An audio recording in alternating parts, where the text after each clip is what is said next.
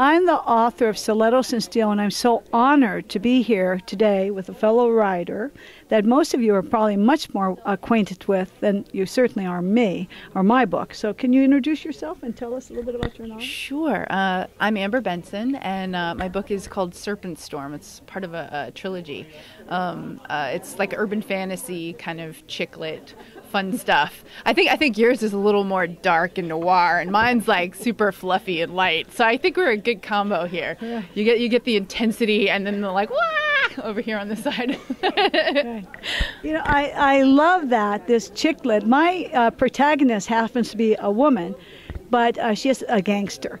But I did yes. use a lot of humor and made it historically correct from 1969. In but there Francisco, are in right? San Francisco, in the yes, the Tenderloin district, which is notoriously dangerous. But in the 60s, it was actually glamorous because we didn't have homeless then. they were a souvenir from the 80s. So um, anyhow, it's gritty, but it's also fun. And I loved you too when you were in your series. You want to tell us a little bit about that? Oh, sure. Um, well, I'm, I'm, my claim to fame is that I played a lesbian witch on the TV show Buffy the Vampire Slayer. That's how people know me these days.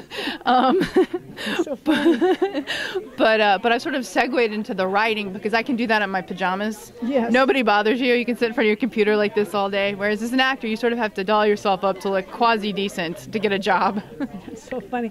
What's so hysterical about my book is there are actual real lesbians in it please don't be offended. It's not the L word.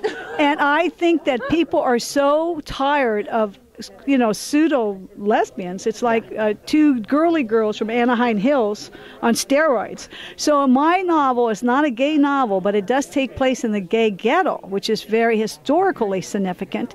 And uh, it is a little edgy. Edgy's good. Edgy's good, but it's filled with humor, and underneath is a beautiful love story. Because what's a noir book without a little romance? That's right. And you got you got to have your uh, your uh, sort of your vixen, and you got to have your your sort of um, your hero protagonist, which I, I here you have in your book. We're gonna we're gonna exchange books when this is all. I over. cannot wait to read her book. My protagonist is often related to as the girl in the dragon tattoo, Lisbeth. But there's she's offbeat. They're both marvelous. They're both defiant. But my protagonist is, is, is different in, in some unique aspects, which you'll find out when you read Stilettos and Steel. Where we have a crowd here, which is a quality problem for authors.